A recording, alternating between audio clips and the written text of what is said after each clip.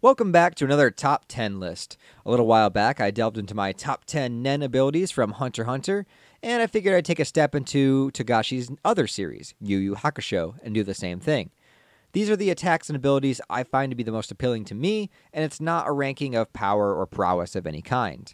Let me know what you guys think and leave a list of your own favorite attacks down below from the series. But without any further ado, let's get started. Number 10 is going to be Game Master's ability to bring video games to life in the real world. In the third arc of Yu Yu Hakusho, Togashi introduces the concept of territories, human beings granted with enhanced spiritual powers that are able to create an area of space where they can essentially make up their own rule. Game Master is a young boy named Tsukihito Oniyuma, and he was manipulated by Sensui to join his team who had hoped to open a portal to the demon world. In order to buy time, he told Game Master to use the game Goblin City to bring to life and stall the protagonist. It's the only game we really get to see him use, but it works just as it does if you were to play the arcade version, the only difference being that real people are used as the players. I just love the creativity and concept of this of temporarily making a video game real. I mean, what if you did this to like God of War and now you have to literally fight Ares? Well, anyway, the ability seems to represent the rules of the gameplay. The unfortunate thing about this is the game shown in the anime pits the creator in the role of the Goblin King, who dies if the game is won, meaning the only way to beat the game and free yourself is to kill the game master, a child. That's some heavy shit, and it's one of my favorite moments of the entire series. At number 9, I have Jin's ability to manipulate and control wind. Jin is a demon who makes his appearance in the Dark Tournament arc as a member of an opposing team, facing off against Yusuke, and he gleefully shows the extent of his ability. Manipulating the air around him gives him the ability to fly, which of course would come in handy in all aspects of life, and he can also create mini tornadoes that swirl around his fists. Hitting you with this punch not only knocks you down, but also gets you tangled up in a whirlwind, knocking you in all kinds of directions. He can even use wind to block attacks and send them flying away. He might be a tad bit obnoxious as a character, but he's a fun-loving one that treats his ability as playful and exciting as you would expect, and you would probably do the same thing if you could. And number 8 is the classic and iconic Spirit Gun. This is the signature move of our protagonist Yusuke, and it's pretty simplistic. Yusuke channels his spirit energy throughout his body, directs it into his finger, and then fires it like a blast. It takes a heavy inspiration from other series like Dragon Ball's Kamehameha Wave, but it also has its roots in Eastern philosophies and being able to channel one's own life force. I couldn't make this list without it being here somewhere, and basically it's incredibly iconic to the show, and what Yu Yu Hakusho fan has not tried to mimic or try to do the Spirit Gun at least one point in their life. Number seven is going to be younger Toguro's ability to enhance his strength and power. He can control and decide exactly how much of his total power he can put into his mass at any one given time, oftentimes even stating what percentage he's at as he grows stronger and his muscles and body become bigger and more monstrous. Toguro was once a human who once won the Dark Tournament many years ago and had himself turned into a demon by the committee. He wanted to be the kind of demon with absolute strength so that he could never be put down again, until he would eventually meet his end at the hands of another warrior that was on his level. He can also take this even further and change himself into a full demon form, making him look almost non-human at that point, and even suck the life energy out of others to become even stronger. On top of that, he has regenerative capabilities, and it's no shock that Toguro is one of the best and most memorable antagonists of the entire series. At number 6 is Kurama's ability to manipulate plant life.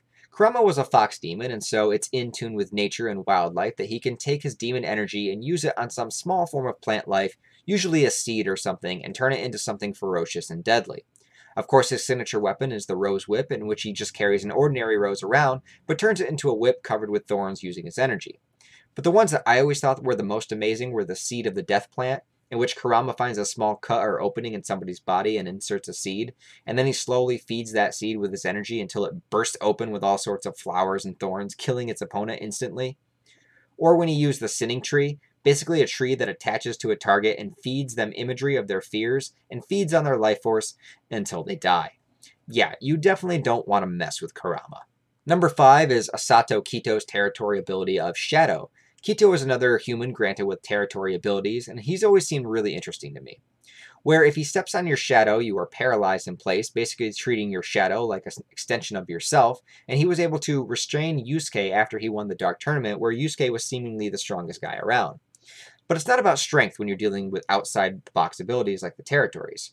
He can also manipulate his own shadow to act independently of himself, and it can interact with physical objects as he was able to write in blood using only his shadow. I've just always really liked this concept, and I wish we would have gotten to see a little bit more of him fully utilizing this shadow ability. Number four is going to be the power of taboo performed by Yu Kaito. Kaito is another human being who is able to use the powers of territory. I think this is one of the more interesting ones, though, as he, being an academic and a non fighter, can create a taboo within his own territory, meaning he can say that something is off limits. In the series, he taboos violence. So when someone tries to attack him, they are unable to complete the attack, and for breaking the taboo, their soul is temporarily removed until Kaito decides to undo it, which is insanely powerful if you think about it, since the man is literally in charge of what happens to your soul if you break his taboo. He can also taboo certain words or even combinations of words, so if they are spoken, you also lose your soul. In a series that's so filled with characters who are fighters, it was really cool to see someone the characters had to defeat using their intellect. At number three is Elder Toguro's ability to change, morph, stretch, and manipulate his own body. Elder Toguro was also turned from man into demon, but his ability is very different than his brother's. Elder Toguro can shapeshift and turn his body into virtually anything. A dagger, a sword, a semi-automatic machine gun, or at least that was a line in the dub anyway. But no, he's basically like the T-1000 from Terminator 2. His whole body, any part of him, can be used as a weapon. He can thin his skin so much that it's impenetrable, and he can even move his organs wherever he wants to, so it's nearly impossible to deliver a fatal blow. On top of that, he has a creepy, sadistic confidence when it comes to his ability, and who can blame him? Even after being flattened and punched into pieces, he regenerated his head and then was able to attach to another person's body and take it over. This ability is one of the most unstoppable in the series and deserves a high spot on my list. At number two is my boy Kuwabara and his dimension-splitting sword, the Jigento. Similarly to the Spirit Gun, Kuwabara has the ability to channel his spirit energy into a weapon, focusing on a sword kind of like creating a lightsaber from scratch. But the Jigento further enhances this power and gives him the power to cut through territories of others or even dimensions themselves. Kuwabara is probably my favorite character in the series, and he always has such a code of honor and loyalty to his friends, which I appreciate.